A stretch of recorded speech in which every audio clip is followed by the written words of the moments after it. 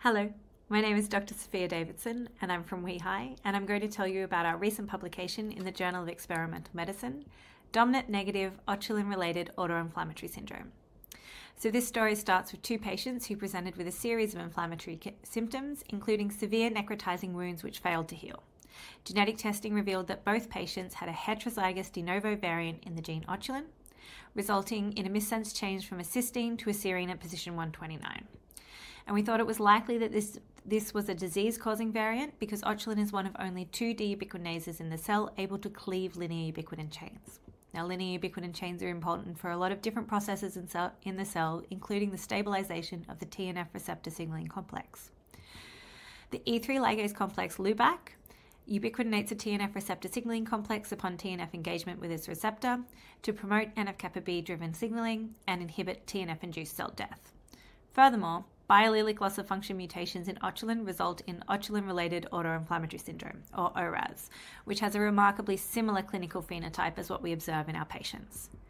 Consistent with ORAS at a molecular level, we see accumulation of linear ubiquitin chains in patient fibroblasts and increased inflammatory gene transcription in patient PBMCs.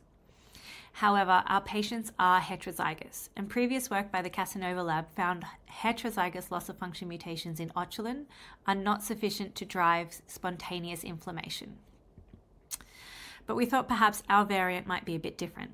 Indeed, exogenous expression, of C129S and not other loss of function mutations in otulin was sufficient to drive accumulation of linear ubiquitin chains and inflammatory gene transcription in wild type cells.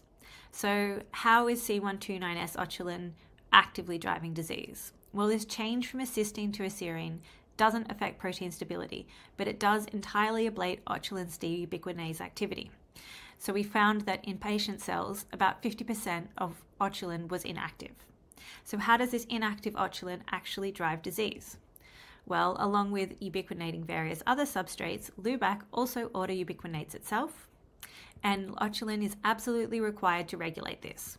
We found that in patient cells, C129S otulin preferentially bound to LUBAC, outcompeting, outcompeting wild type otulin and promoting the accumulation of ubiquitin on LUBAC. This inhibited LUBAC's ability to, re, to be recruited to the TNF receptor signaling complex and sensitized cells to, cell, to TNF induced cell death, leading to patient disease. Indeed, Blockade of TNF signaling resulted in disease remission for both of our patients. And just to emphasize how dramatic this was, here is patient one's severe necrotizing wound fully healed. He's been re-established on feeds and he's growing really well. So it's a fantastic result. Thank you so much for listening, and please check out our paper. It's the first report of an ORAS like disease caused by dominant negative inheritance.